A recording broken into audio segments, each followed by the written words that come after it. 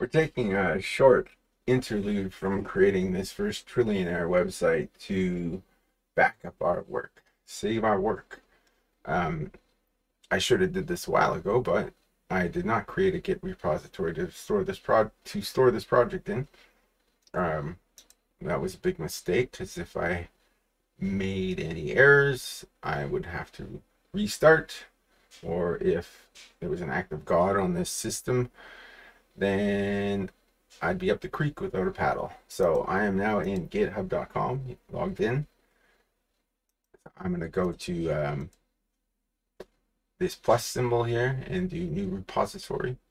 We're not importing anything. Um, that's like cloning an old repo from somewhere um, with the history, I, I'm guessing. So yeah, we, we do have a code base, but it, it, is not a repository yet. Let's get on with it. I'll click it instead of, uh, we'll go under the address. The repository name first dash trillionaire. And yes, it is owner Russell or Jones Russell, no template, description, site for first, uh, I mean code for Drupal for uh, first XYZ, which is not up.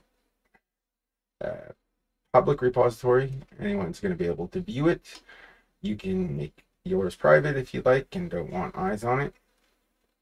You do not want to touch any of these default options if you have an existing code base, um, unless you know what you're doing. So we're going to leave them alone because we don't know what we're doing. And we're going to hit create repository. That's it. We have a repository in GitHub, um, but that's not it for the whole program. Okay, let's look at the instructions they're giving us. or create a new repository on the command line. We don't want to do this or push an existing repository from the command line. The first bit of instructions um, we don't want to do because there's no good reason I can think of actually. It looks good. Yeah, actually, I don't know what I was thinking. Um, git init is the beginning let's uh oh yeah that's the site over there that's bezos watching over our shoulder. Uh, this is php storm with the code base in it. Bezos in there. Um this is the terminal just like any other but it's in php storm and it's already in the uh, Drupal root where we want to be. See web vendor that's all over here uh, we will go ahead and start with the readme this is essentially the same thing as clicking around new file and creating a readme and then putting in that hashtag first trillionaire up here is the readme it's uh, that kind of access. So some sort of some sort of spying maybe. Um, where were we? Git add readme.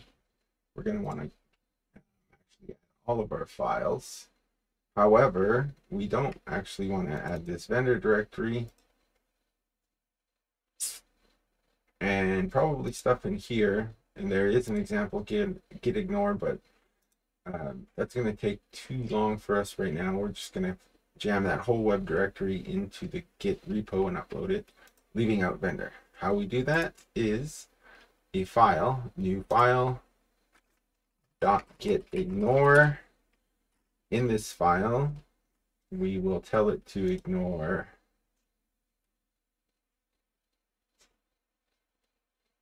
uh, I lost the directory at some point. edev's not there, but anyhow, um, we'll ignore slash vendor.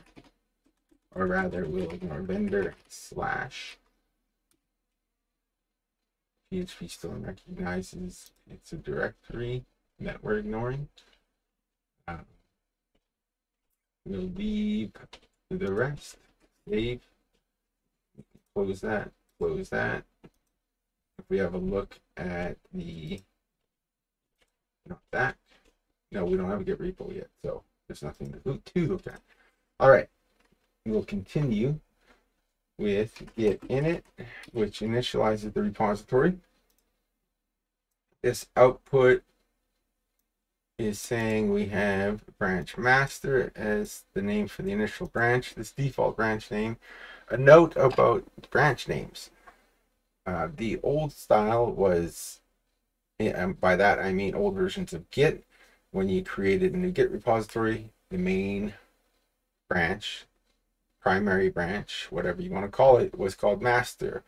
Um, master and slave relationships were very common in computer science, I guess you would say, so, uh, services, um, where you would have one server as a master or one whatever as a master, parent, and a child that uh, replicates from it.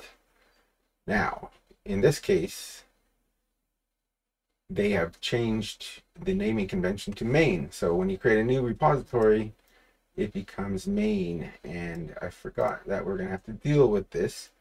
Um, but that's okay. This is going to be a problem that most people face. All right. Where were we? We were going to change the name of the branch then to main. How do we do that? We have to create a new branch and you do that on the command line by typing git checkout dash b space and then the name of your branch which is main we now have a main uh, main branch we can we've skipped adding our files so we'll do that now git add period which is the current directory recursively It seems like it's taking a while.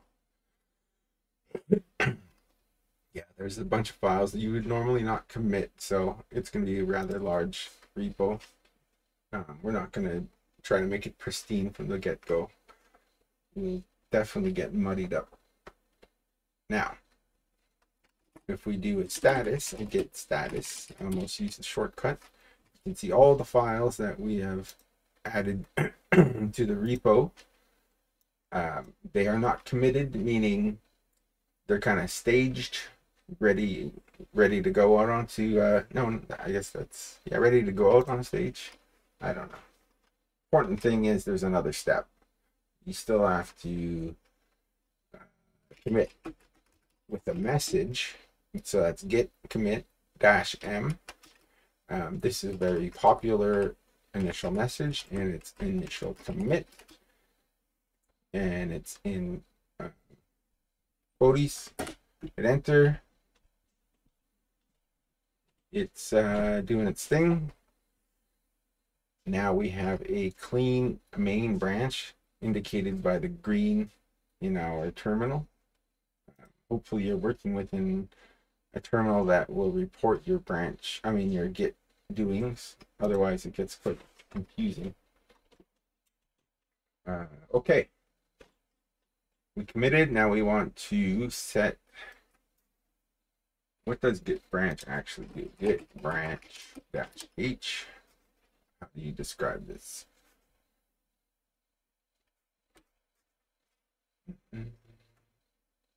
This both tracking, those are actions. So it's just actions. So which dash m? Move. Move rename a branch and it's reflog. Oh no, no that's wrong. Sorry, that's uh, lowercase.